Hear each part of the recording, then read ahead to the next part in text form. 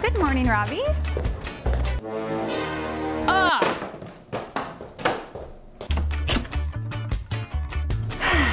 At least I'm in the right place. Engadget's new daily show, In Case You Missed It, hosted by me, Kerry Davis, starting June 16th.